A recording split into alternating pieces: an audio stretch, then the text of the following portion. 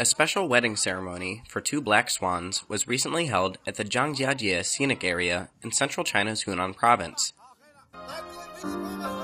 好了，尊敬的各位朋友们，接下来让我们用热烈的掌声欢迎新人登场。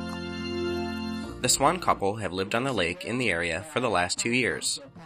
The swans, decked out in full wedding regalia, walked along a red carpet with the aid of human helpers, then tied the knot.